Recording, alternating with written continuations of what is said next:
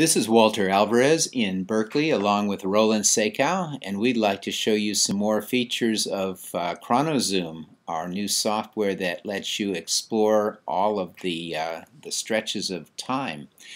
Uh, in the video number four we, uh, we explored with you this panel which shows human history back to the beginning of writing, sort of at the beginning of Egypt. What we want to do now is to take you to see uh, human prehistory, the time when there were humans around but writing did not yet exist. So human prehistory goes back to about 5 million years ago compared to written history which only goes back 5,000 years ago. So that means that we have to zoom out by a factor of a thousand in order to see all of human prehistory. Now what you can do is go up to these locator bars at the top and you can click on human prehistory. There, do it Roland. And now it's going to zoom out and you can see written history disappeared into less than a pixel in the upper right hand corner. And this is our panel that shows you um, human prehistory.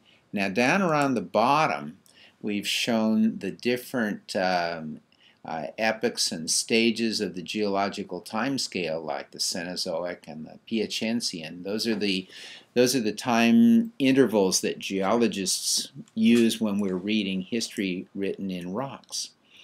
And up above it with the black and white bars, this shows you the polarity of the Earth's magnetic field through time. So from zero, which is at the right hand edge from the present time, back to 781,000 years ago.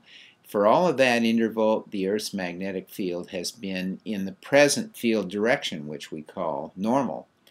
And then in the white box, then you're in a reversed interval. And we show the times at which those changes happened, like uh, 998,000 years ago, is that change from normal to reversed polarity.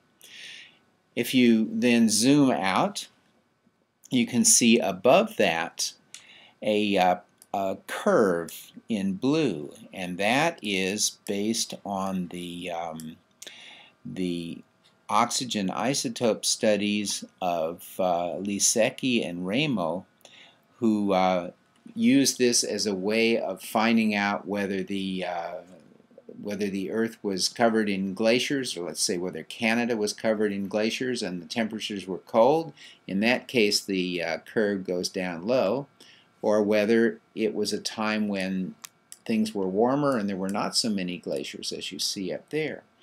And if you zoom out now a little bit to about there and pan a little bit to the right, you can see the, um, the curve through the last million years, which shows successive glacial uh, intervals when the curve is low and interglacials when the curve is high. And at the very right hand end, you can see how the curve jumps up very suddenly about 10,000 years ago. That's what's called the last deglaciation. And it's the time in which uh, the glaciers on top of Canada melted rather rapidly and left us with the world that we've lived in for the last 10,000 years ago, in which there are glaciers on Antarctica and Greenland, but not on Canada. So if you zoom out a little bit further now, we've shown at the top in these colored bars the history of the River Nile. And this is an exciting thing because mostly we don't think about rivers having histories. We think a river just is. But to a geologist thinking about, uh, about times in millions of years, rivers change. And this shows what has happened to the Nile. And you can go through and explore it. The reason there are three different uh, bands there with different colors is that different geologists have different interpretations of what happened. So for example, Paleo-Nile was a time when there was a Nile River flowing.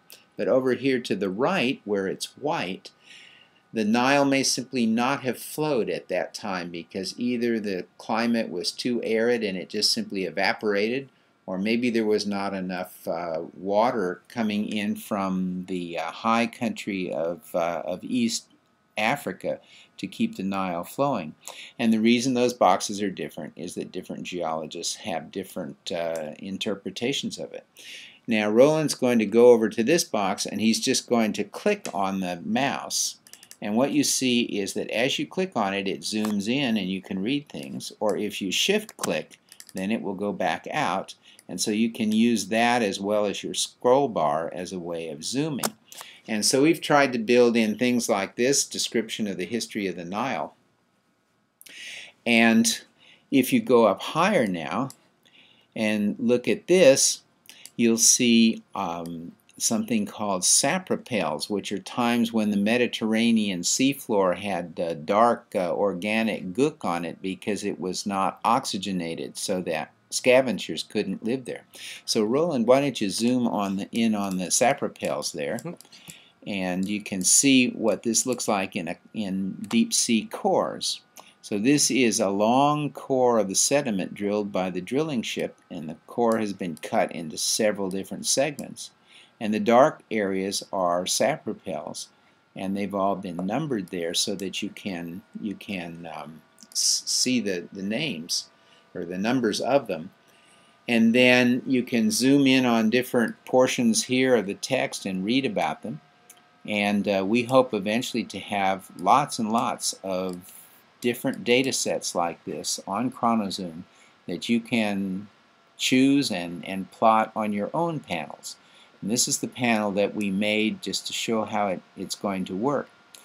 Now the last thing I want to show you here at the top is human history human biological history. And so here is Ardi, who's the nickname for Ardipithecus ramidus, who was described by a whole group of um, paleoanthropologists led by Ber Berkeley's Tim White, and that was published in Science last fall.